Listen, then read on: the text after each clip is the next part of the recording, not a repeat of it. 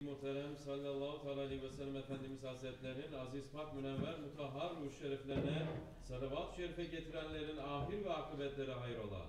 Âl-i esvacı tahviret evladı Resul-i Sakzin Efendilerimizin ve sair enbiya izem ve Resulü fihan hasıratın ervah şeriflerine Pirimiz Bilal Habeş radıyallahu anh Efendimizin Şeyhimiz sahibi Seyyid Şeyh Abdülkerim el Kıbrıs Rabbani Hazretlerinin ve alel husus bu caminin bahanesi ve bugüne kadar içerisinden gelmiş geçmiş imam mezzin kaymlarının ve kahve ehli imanın ervahı için Allah rızası için El Fatiha.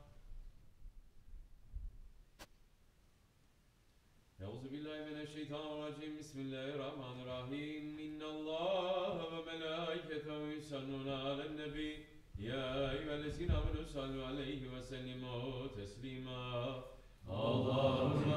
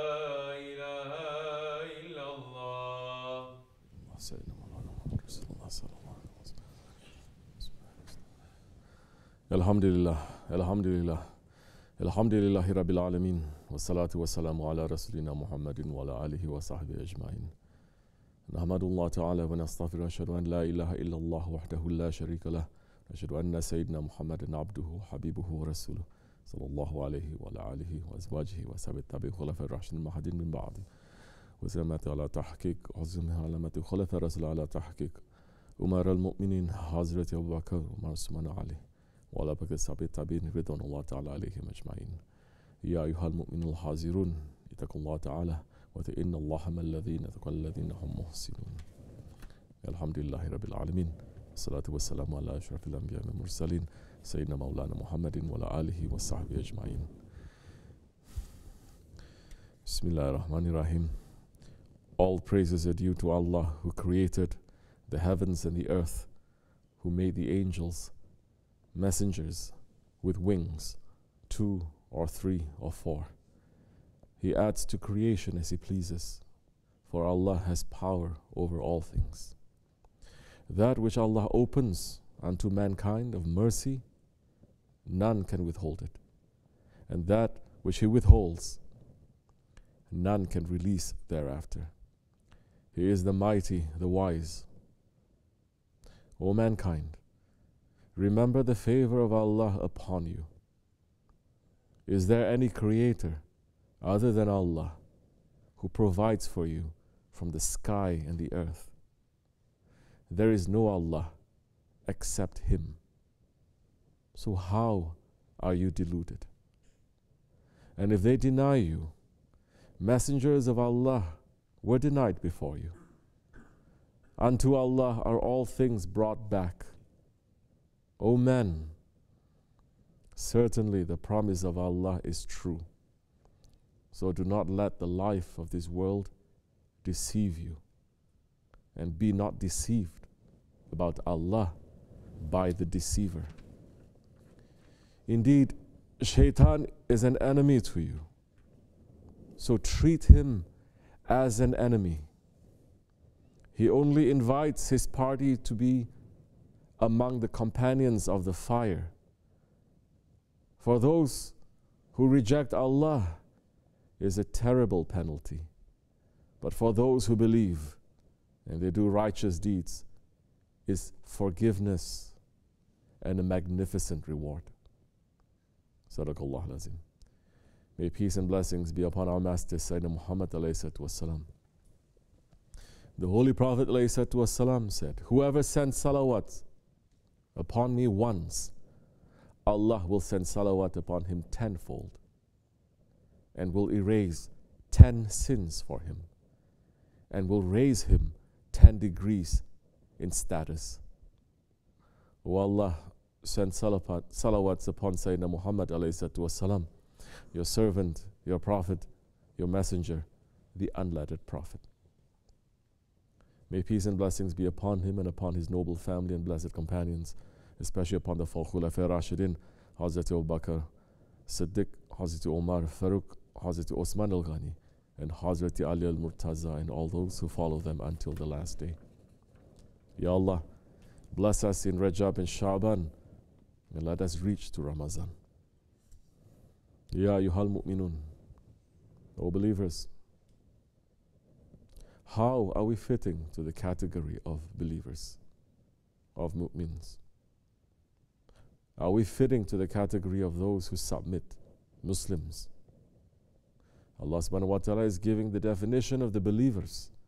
Surah Al-Mu'minun, saying, Bismillah ar-Rahman ar-Rahim.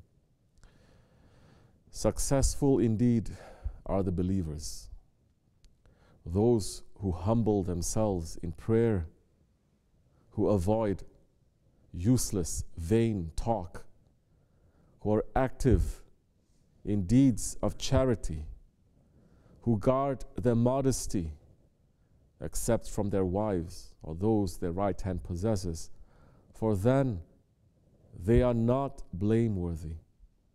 But those whose desires exceed beyond that, such are transgressors. Those who are shepherds of their trusts and promises, and who strictly guard their prayers, these are the inheritors who will inherit paradise. They will dwell therein forever. This is a basic definition of a believer in the Quran Karim. We know ourselves. Do we fit to this description? Being humble in our prayers, avoiding useless talk, being active and generous in giving charity and serving others. Are we guarding our modesty? Are we keeping our trusts and our promises and guarding our prayers carefully? If not, we cannot call ourselves believers. Our Shaykh is giving us a deeper description of how the believer must be, saying, Allah has granted to you 24,000 breaths of life every day. Every day you are taking 24,000 in and out. It's calculated. When that is finished, your life is finished. Today's people don't know how to spend their breath of life too. They are running around wildly. They don't keep the orders of Allah and His Prophet. They are sitting under the curses of Allah day and night, and their life is shortening. What we will do with that life? Why Allah has given it to us? Why He has sent us to this world? To be slaves to this world?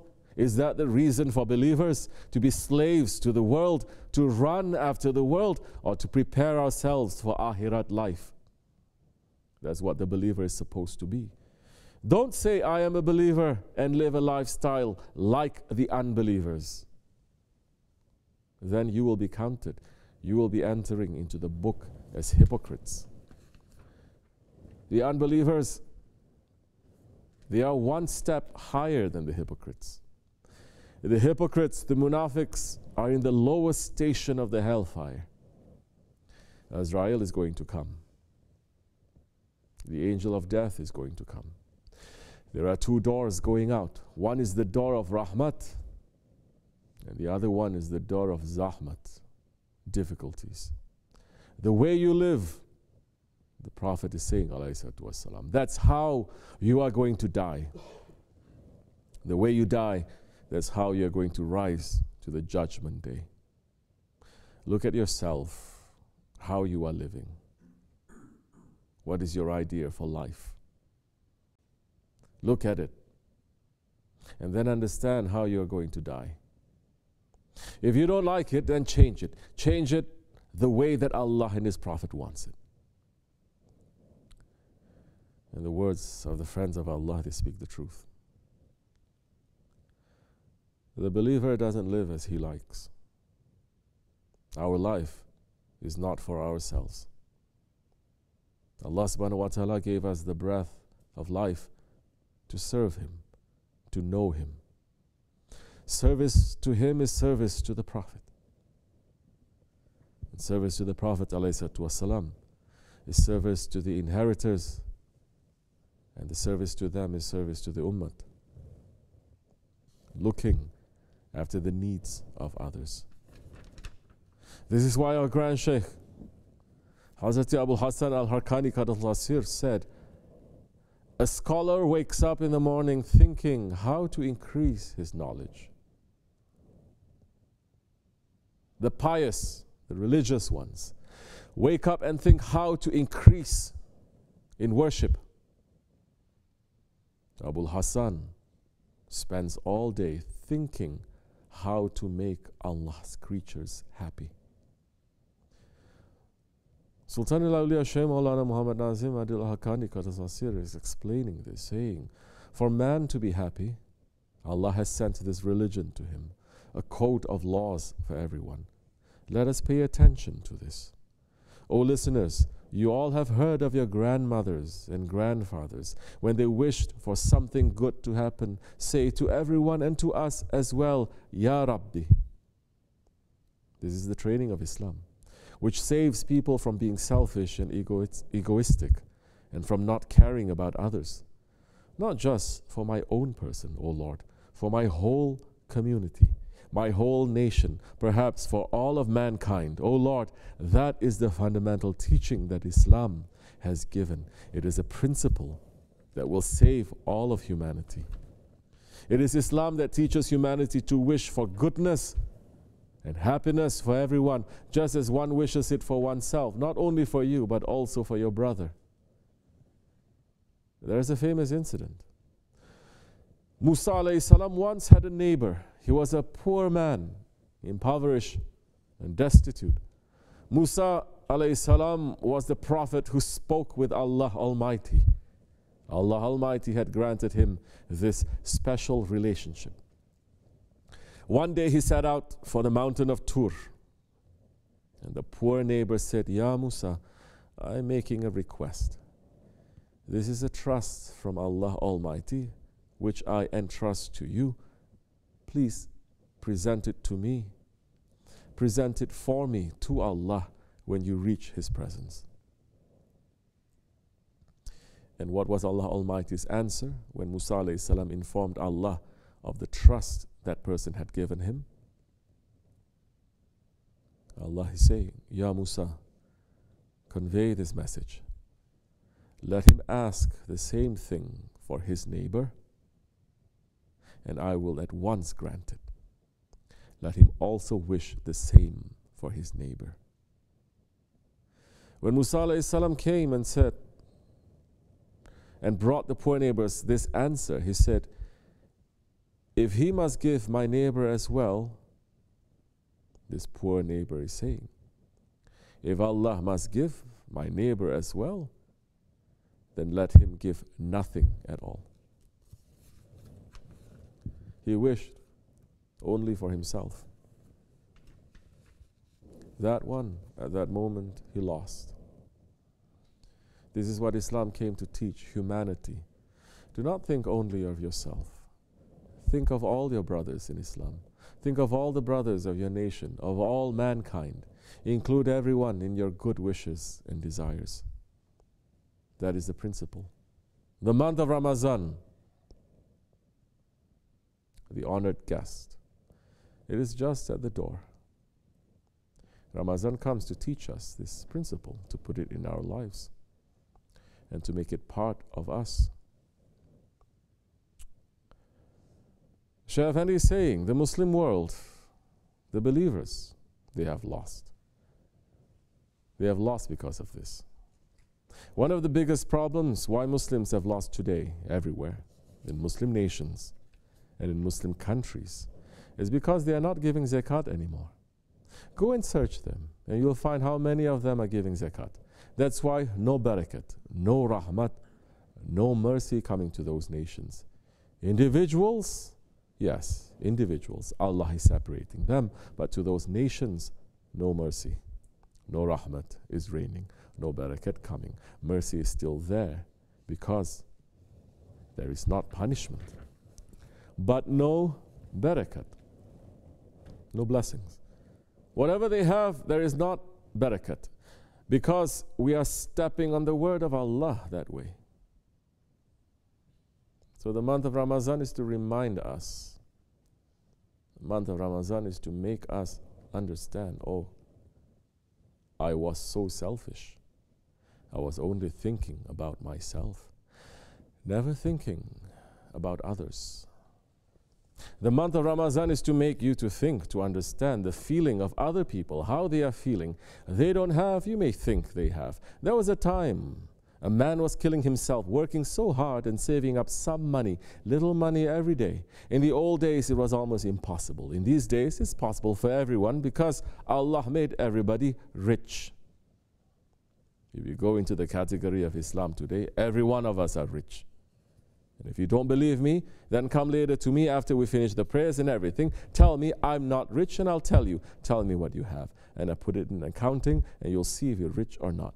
According to Islam, not according to America. In America, nobody is rich, everybody is poor. That is for sure. Everybody is poor in America. They are wealthy, wealthy, but they are very poor. They are not rich. Rich are the believers. Believers are rich because they don't count, they don't calculate. They take and they give they're rich. The one who is counting is wealthy. But what happened to us? Yes, once upon a time we were not like that. The Muslims were giving, and in the time of Osman radiallahu an, the Baytul Mal was filled up, so they were also giving money to Christians and to unbelievers to make their hearts warm to Islam. They were giving away just like that. They said, How foolish are these ones? How foolish. They're giving. Allahu Akbar. No. The more you give, the more Allah sends. The more you give, the more Allah sends. There is a direct connection of rizq. Ya Razak. The rizq that is between you and Allah, it's direct. And it's reaching from here to paradise. If you cut it this much, instantly it comes down again. Take that out, and it fills up instantly. The more you take, the more comes down, never ending. Try it. Look what happens. The month of Ramadan is to make us go back to that, to think, to understand what we have lost and what we are losing. Oh, believers, how much longer are we going to drown in the oceans of heedlessness? How much longer are we going to care only about ourselves. We care only if something bad happens to us. But we stop caring and feeling when we are comfortable, when we are happy. Forget about thinking about others. Our honor, our nobility, our reason of creation lies in serving our brothers for the pleasure of Allah. Rasulullah said, Surely Allah has vessels on this earth. He has containers on His earth, meaning our hearts. And the containers, the vessels that are dearest, most valuable to Allah, are the purest and strongest and finest. Purest from sins, strongest in faith, and finest toward their brothers. Another hadith sharif, here Allah is saying, generosity is near to Allah,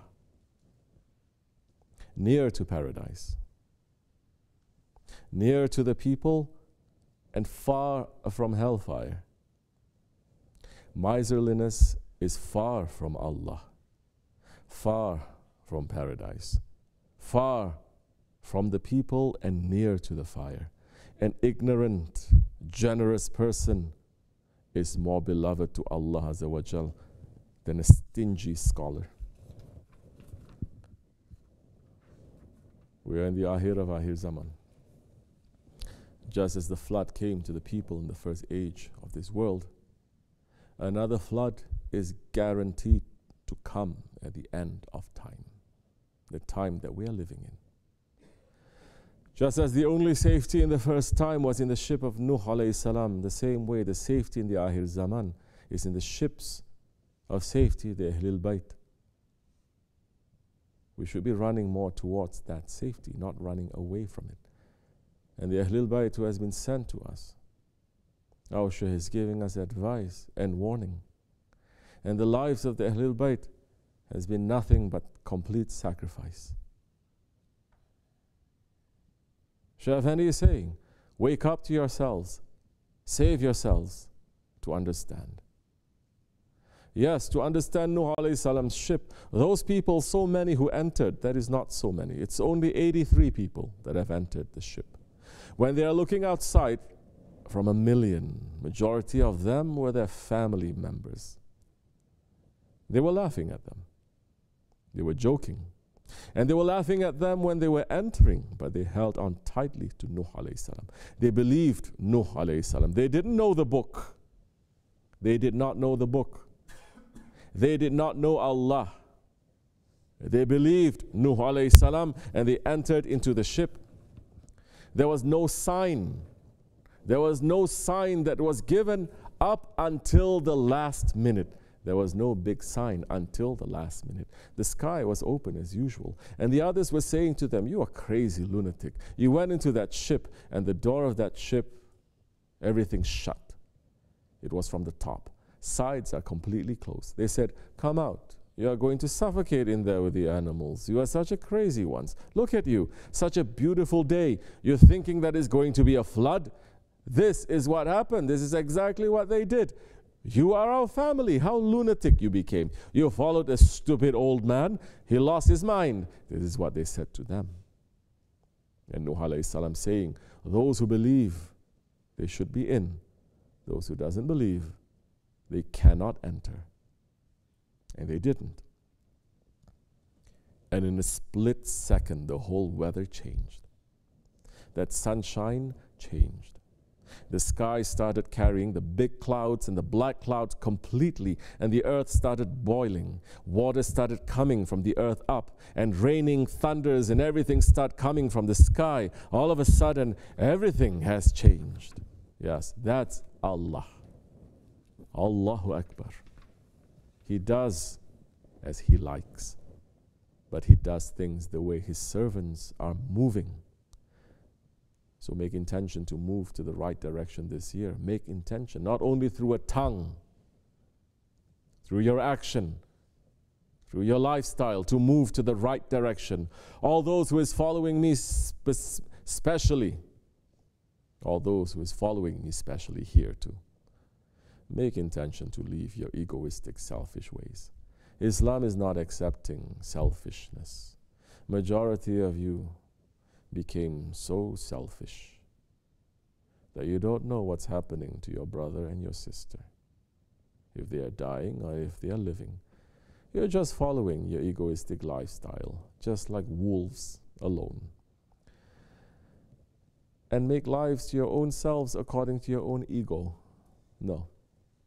That's exactly what Shaitan wants you to do to separate you, to keep you distant, to keep you away. That this way you don't get this kind of reminders. It may wake you up, or if the thunder will come, it may catch you inside the ship. This life is given to you. The choice is yours. You're going to make your own choice, just like those people made it to enter into the ship or to not enter into the ship. If they all decided last minute to enter into that ship, that ship would have carried every single one of them. That's Allah. Allahu Akbar. So if you choose, decide to change 100% from your egoistic way, from your selfish way, Islam is not accepting any selfishness. That's why I'm very upset with so many of you. Later, I'm going to talk to you privately, not on the internet, those who is around me, and I'm going to show you how selfish you became. And as you like, if you decide to change or not. But if you don't change from that selfishness, believe me, you are going to be in big trouble. So you have to put some belief in your heart. Belief of Islam. Believe that Holy Prophet ﷺ has brought not something you have made it up to your own self to say, Oh, I am a believer, and this is Ashhadu an la ilaha illallah wa ashhadu anna Muhammadan abduhu wa rasuluh, and that's it, and I'm praying, and that's it. No, that's not it. That's not enough. That's not enough to save you. Believe me. So, inshallah, this much should be enough for you and for me. I'm not accepting that time. The saying that, oh, Sheikh, this is the hadith, give the good news and make people happy. I'm not accepting it this time. It's good for those who is already in awakening station. Yes, better days is waiting for those ones. If you are not in awakening station, there is a death and a life waiting for you. You're going to suffocate between those two. You have to wake up. You have to push yourself to wake up. You have to find other energy to make you to wake up. Yes. Yes, we have to wake up. There's no more time left. We have to make tawbah. We have to step on our egos. Otherwise, it doesn't matter if it is Mevlid or Rajab or Shaban or Ramazan. We're going to stay the same because our faith is just on our tongues. Our religion is just from our tongue. It doesn't pass our throat, it doesn't enter into the heart. When it enters into the heart, it will show through our actions. It will show to what we are thinking, what we're doing. When it doesn't, then it is showing to.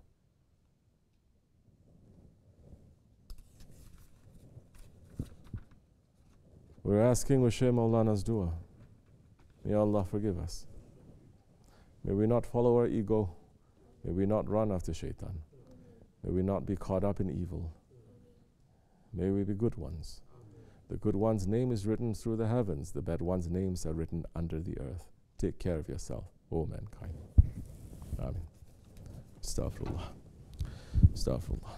Astaghfirullah.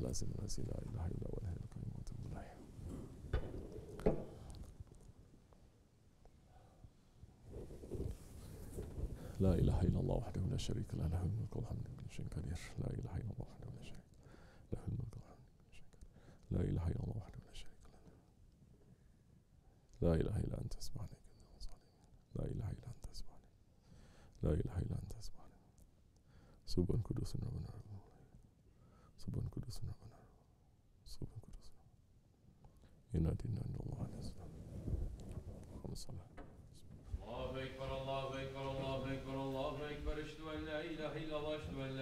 illallah. Eşhedü enne Muhammeden Resulullah. Eşhedü enne Muhammeden Resulullah.